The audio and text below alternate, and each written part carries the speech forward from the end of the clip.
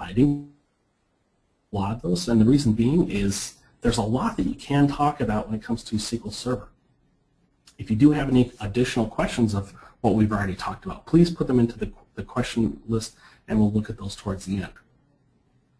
But the next thing I want to get into here is talking about how we access our SQL Server because accessing SQL Server is, for, for most of us, that's what we really care about. When it comes to today's um, environments where we've got things going up into the cloud, we've got managed hosting, uh, securing the SQL Server is, for a lot of us, is less and less of the focus, and it's more about how we can go out there and access that our SQL Server instance. And when we're accessing our SQL Server, there is the basics where we start off with, and that is the login. Now, our login can have either Windows Authentication and or it can be SQL Server Authentication. It can be controlled by a certificate, or it can be tied to an asymmetric key.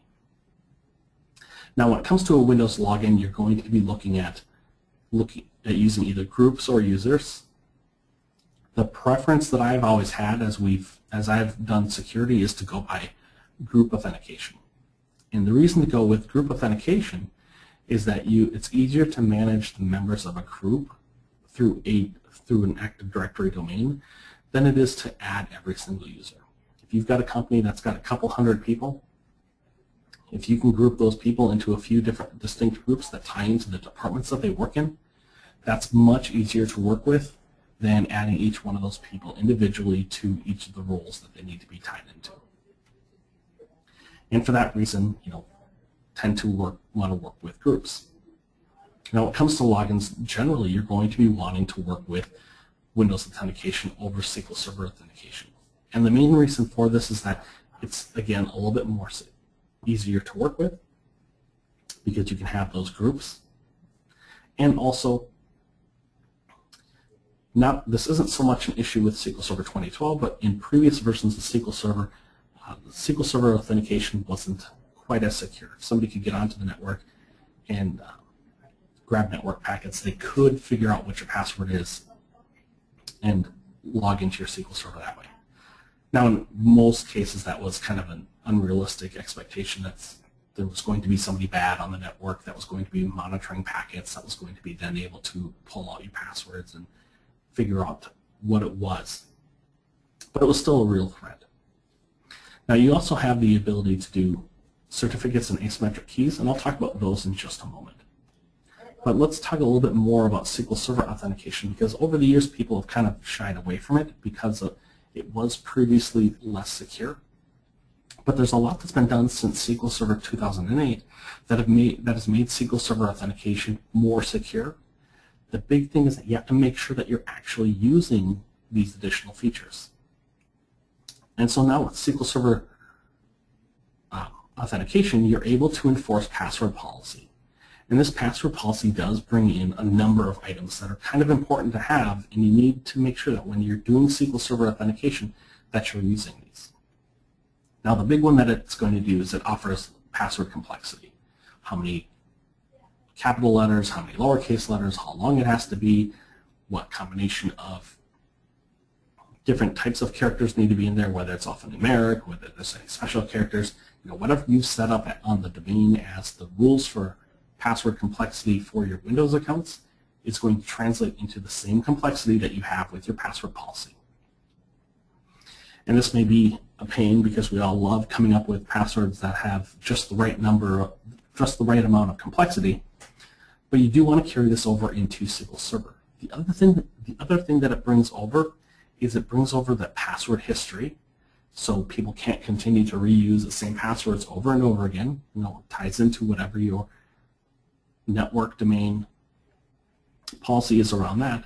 And then it also has lo account lockout duration and thresholds. And so if somebody starts logging in with a bad with a bad password over and over and over again, they're going to eventually get locked out, and then it won't be able to be used until that duration is met again, which then helps make SQL Server authentication much more secure. Because in the past, when people weren't weren't when these features weren't available, somebody could just turn on a uh, brute force attack, brute force attack, and just go after and try every single possible password that they could come up with.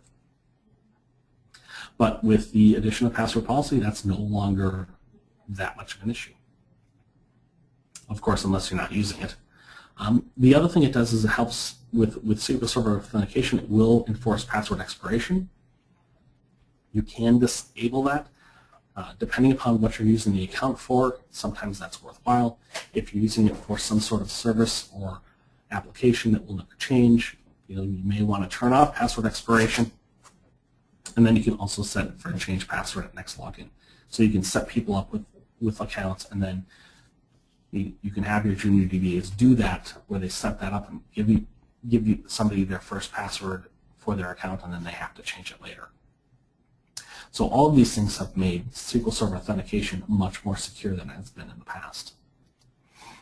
Now when you're talking about advanced access to your SQL Server instance is where you're going to be looking at certificates and asymmetric keys.